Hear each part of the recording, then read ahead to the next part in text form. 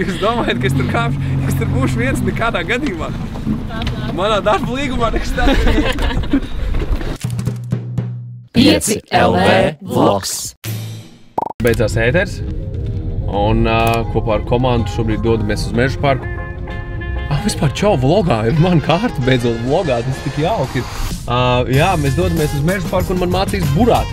Estere Kumpiņa. Jā, man burāt mācīs Estere Kumpiņa. Uh, burāšana manā dzīvē, principā, nu, bijusi diezgan, diezgan, diezgan, diezgan tāda, nu, nosacīta. Man viens no labākajiem draugiem ir kapteinis, bet viņš burā ar jahtām, ar lielām jahtām. Sanācis paburāt kopā ar viņu, nu, brīšķīgi, pavisam nedaudz. Bet, kā ūdens nav mana mīļākā stihija, tad, uh, tad ir tā kā ir. Nu, šis būs labs izaicinājums sev pašam un nu, redzēsim, kas tur beig beigās sanāk.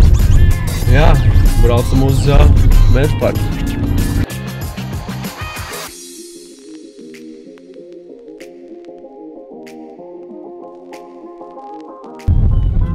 Vai nu piet? Nu, jo man interesē, kas, ko, ko dara pārējie kolēģi, un es atbalstu savu radiostaciju. Vai arī Latvijas Radio 3. Un es varu rekomendēt patiesībā Latvijas Radio 3, jo tas, tas ir, tas ir anti-road radio. Nu, piemēram, vispār pilsētā braukājot, un es braucu bišķīt uz 50, tā lai plūsmiņā tik iekšā, nepārkāpjot noteikumus, ne? Pazies, kas tikko pa labi notika, tas, viņš brauc ātrāk. Tā nevar. Na, na, na, na, na. Tas nav jauki. Nu, jā, nu, Latvijas Radio 3, kā es tev teicu, jau. Tas labs radio, man patīk. Neatzīst, ka operas nav mans mīļākais žanrs, tāpēc es teikšu 5 atpakaļ.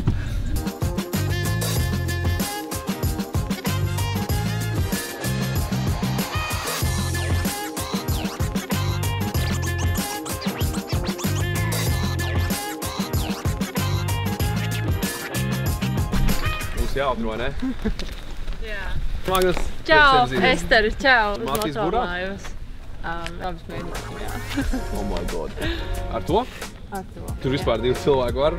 Jā. Jā, tiešām? Jā. Tik maz laimīgs, nā, nu, neatceros, kas būtu bijis. Es, es šo laivu konkrēti nosaucu par aurumu. Mhm. Um, kā Kas ir aurum?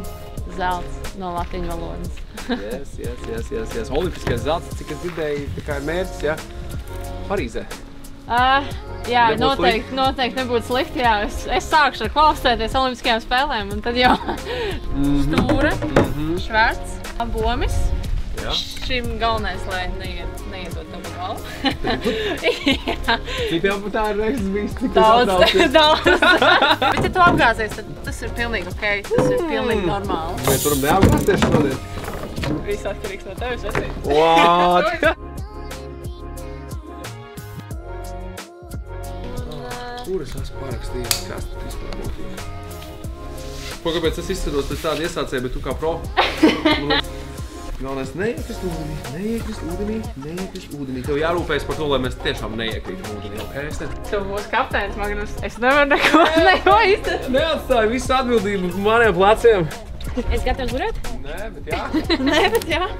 Es esmu vadošā Latvijas izlases pārstāve. Es jā, esmu šobrīd arī vadošā reitingā. Jā, boy, tā kā tev nemāc, kurš katrs, jā. Labi, tu esi gatavs? Es esmu gatavs. Jā. Tad jūs varat droši doties uz karjeru. Un es, tik, es, es jūs satikšu uz ūdeni. Šāda veida burāšana neko nezinu. Tikai rīktīgi daudz informācijas un atbildība manās rokās. Tas ir diezgan nopietni.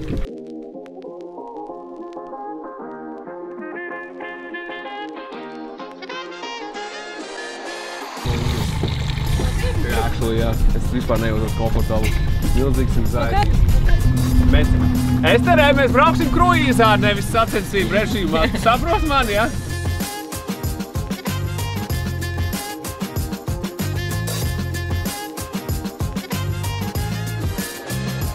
Atsēdies tikai uz soliņu. Tā kā šeit, Iekšā. šeit. Un kur es varu pieturēties? Rekur šeit. Nu, vajag nepalīdz. Es varu būt tavā pusē? Jā. Oh. Labi, labi, labi, labi. Patīk. Un tu, vai? Tu? Un tu? Oficiāli es sācu burāt. Uhu. Es tā kā visu kaut ko šobrīd. Jā.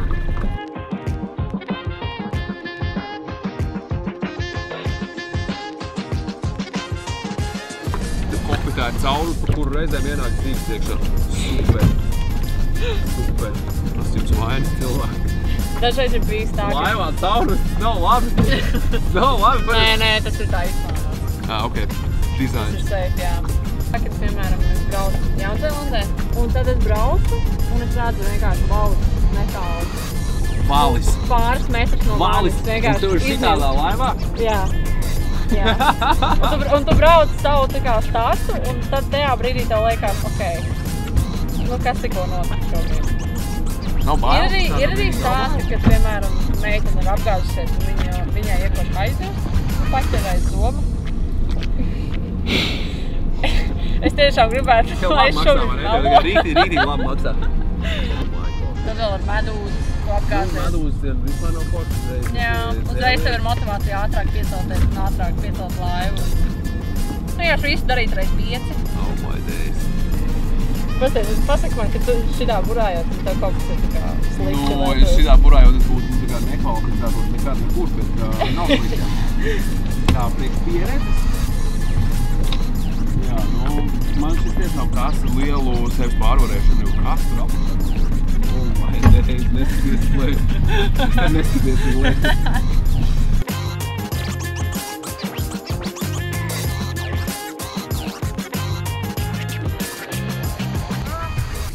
Man šis ir airēšanas sports vai burāšanas sports? No, ja pieļauj kļūdas, tad arī ārēšana. Tā to norakstu. Man ir jauna pieredze. Es noteikti kaut kā reflektēšu par šo. Es, es nezinu, kā šis man dzīvi izmainīs, bet es jau jūtu, ka šis jau ir man dzīvi izmainījis.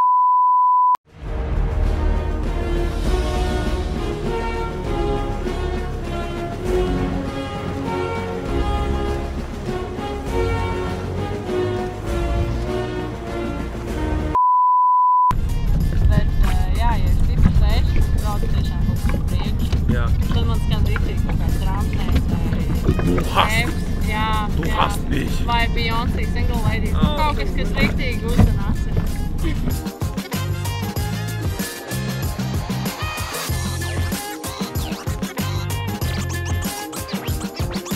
Tev paldies, Patrik, kā viņa aizbrauca, redz? Jā, nu šito mēs nekā nav... Wow! Neapgāzties, neapgāzties! Neapgāzties, turies, Esterē! Vai tu ko? Sauso. Wow! Tā ir pilnīgi labākā. Jā, jā. Sveikiņi!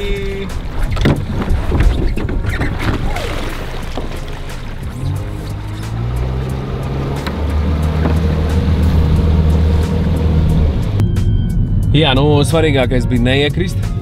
Ček. Jā, wow, laba pieredze. Uh, vlogā arī dokumentēt šādus piedzīvojumus. Es ticu, ka būs interesanti skatīties. Nu, ja nē, uztina atpakaļ, tur noteikti ir pāris vietas, kurās var captionot manu seju un, un visu kaut ko piedurties un tā. Vai es to darītu vēlreiz? Visticamāk, ka jā. Visticamāk, ka jā. Atbildot uz jautājumu, kad tu pēdējo reizi darīji kaut ko pirmo reizi, nu, tad man būs pavisam ātri atbildi rokā, jo šis bija kaut kas tāds, ko es daru pirmo reizi, vai ne? Un forši nodzīvot gandrīz līdz 31 gada vecumam un kaut ko joprojām darīt pirmo reizi. Un jā, wow, kā jau teicu pirms mirkļa pašā sākumā, prieks, ka neiekritu. Kāds būs mans nākamais piedzīvojums, man nav ne mazākās nojausmas. Tu nekad neko nevar zināt ar 5LV vlogu, ko viņi izdomās.